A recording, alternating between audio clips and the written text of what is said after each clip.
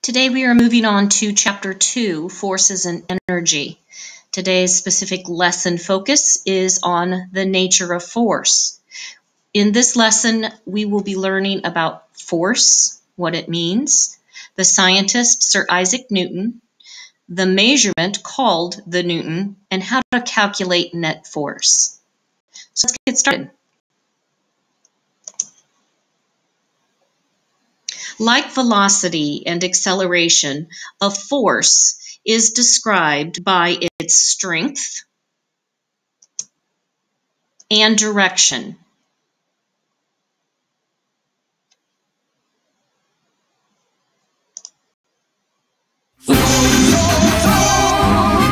History.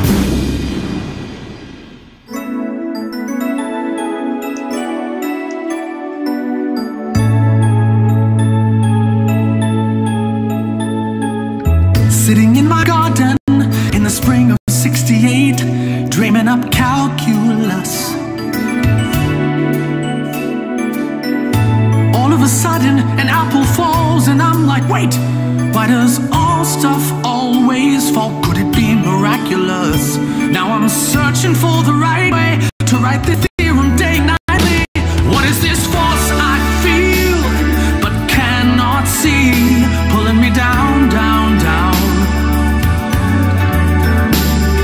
Its for real? What can it be? Spinning us round,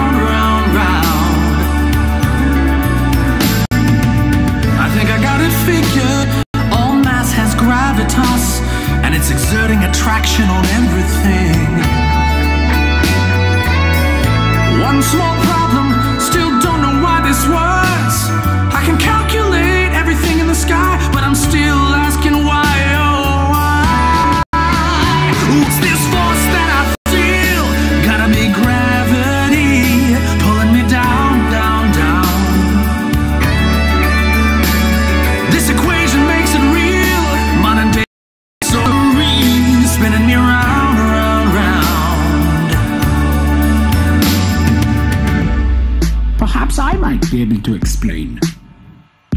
From my mustached face to my crazy hair, I'm E baby. That equals MC square. Your equations are tasty, but not where I'd stop. Let me illustrate gravity with a mic drop.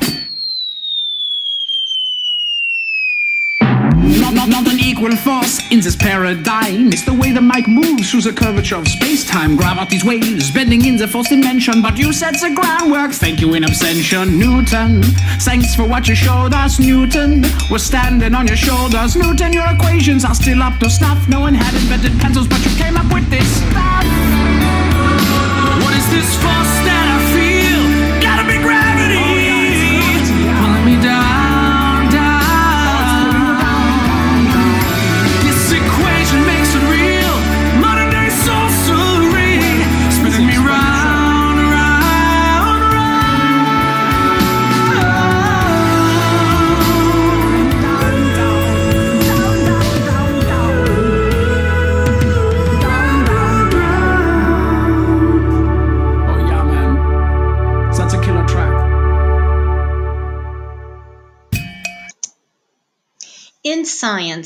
the word force has a simple and very specific meaning.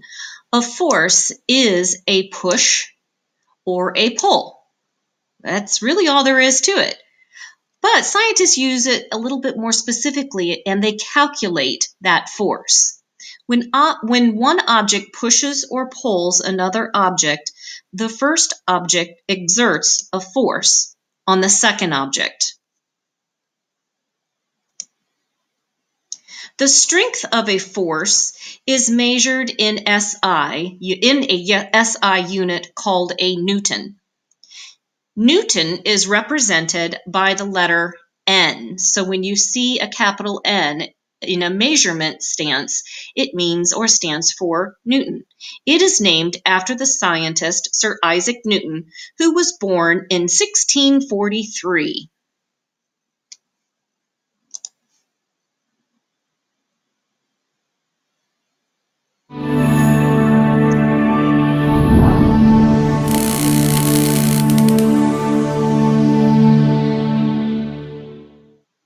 In this program, we are going to learn about newtons. What is a newton? A newton is a unit used to measure force.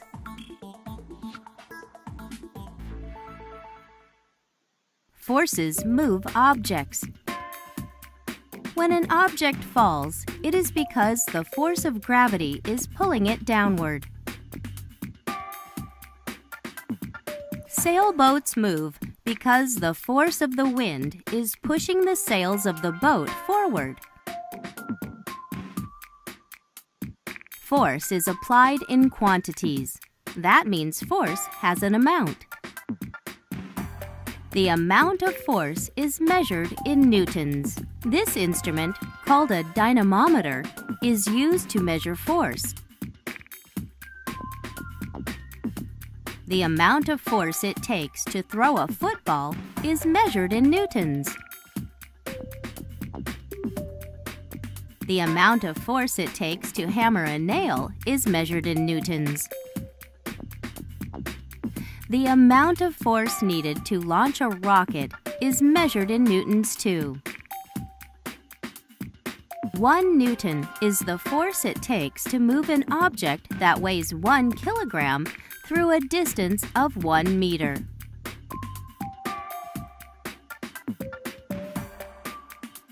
The Newton was named after Isaac Newton. Isaac Newton was a scientist who made many discoveries about motion and forces.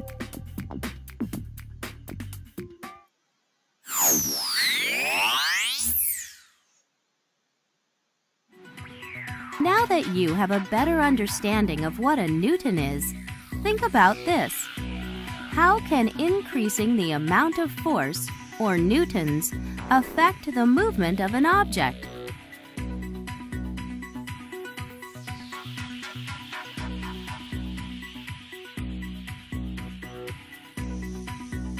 Think about it.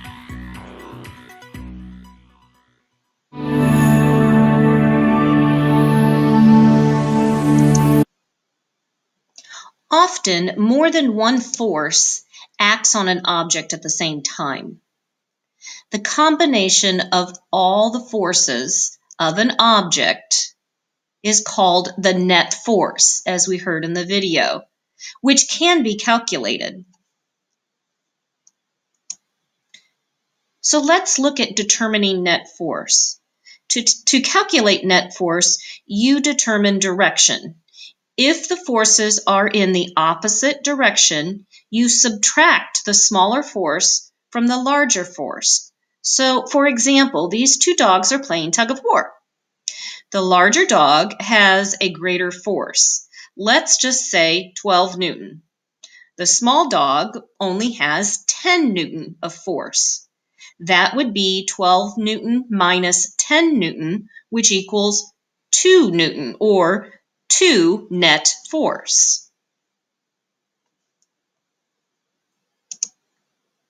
So, opposite direction, we subtract. Like the dog's tugging, we need to subtract. Next is the force if it moves in the same direction. Let's look at that one. In this case, you add. So we have 25 newtons plus 20 newtons. Figure that in your head. See if you get it right. Is 45 newtons to the right because this uh, family is pushing the piano to the right with 25 newtons and 20 newtons, so that equals 45 newtons. So let's have you try it. Your turn. Okay, look at these two dogs pulling. Is it the same direction or opposite direction? That will determine if you add or subtract. Look at the newtons on both sides and see what you get.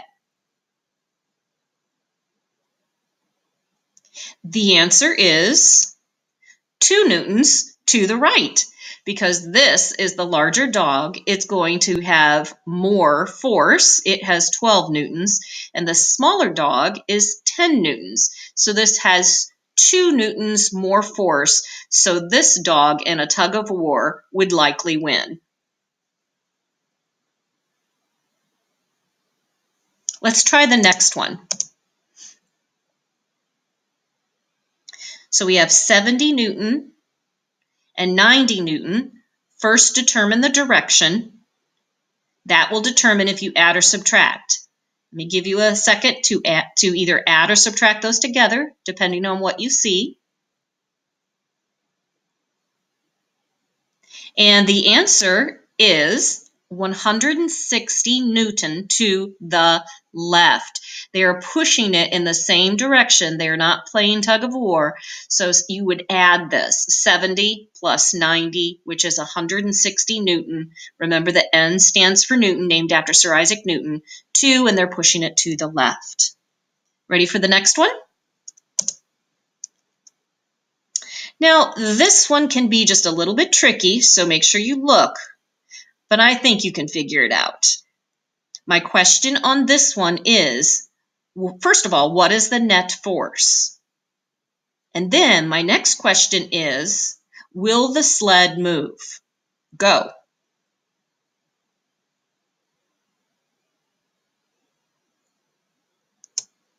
The net force is going to be zero, zero Newton, because this sled dog team and this sled dog team are equal in force. They're equal in might. So 200 minus 200 equals zero. That means the sled is not going to move. At least at first until one dog gets tired. but for this lesson, think about it in newtons. The force, the force, the sled will not move if it's equal.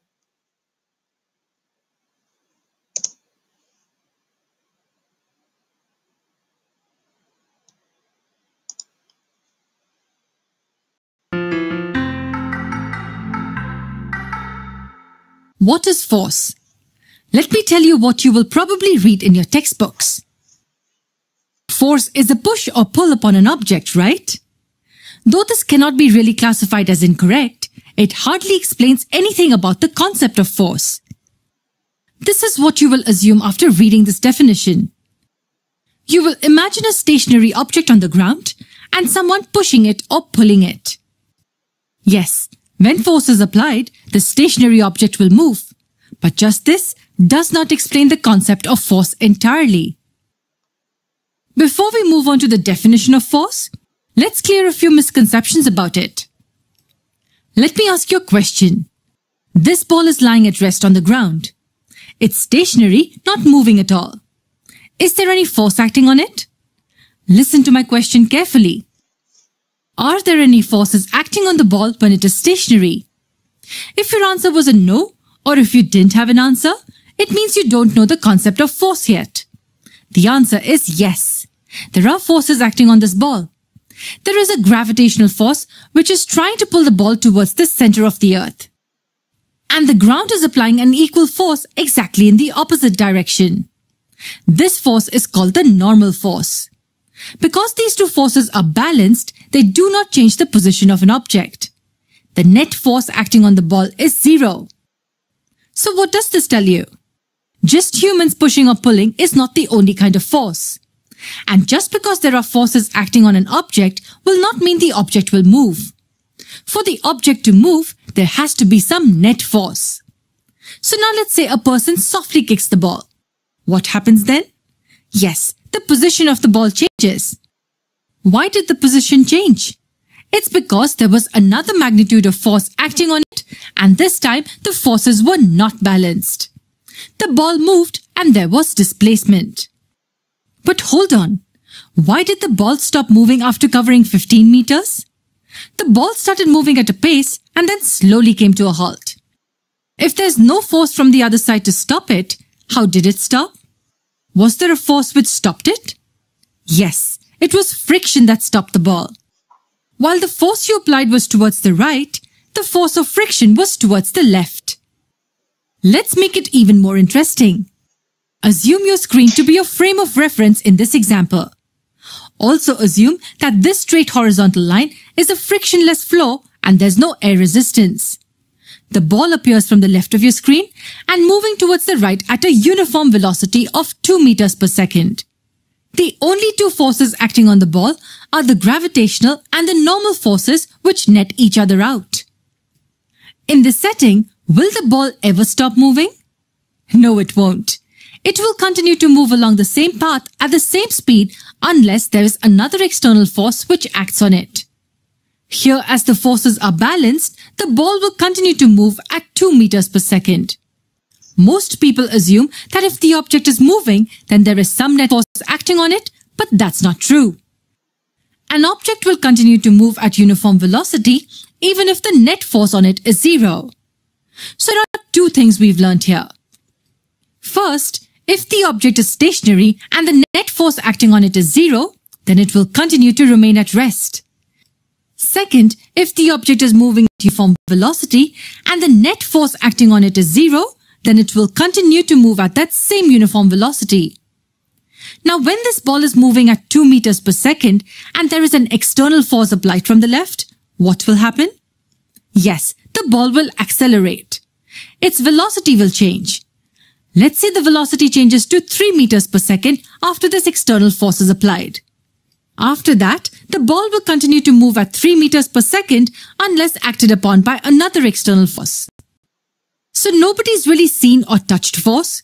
It can only be understood by knowing what happens to an object when force is applied to it. If the body is stationary, do not assume that there is no force acting on it. And if the body is in uniform motion, do not assume that there is some net force acting on it. So what is force? A force is a push or a pull upon an object resulting from its interaction with another object. So when you kick the ball, the ball also exerts some force onto your leg. But as the force of your kick is stronger, the ball moves to the right. There are many more concepts we need to understand about force, which we will cover in the next video.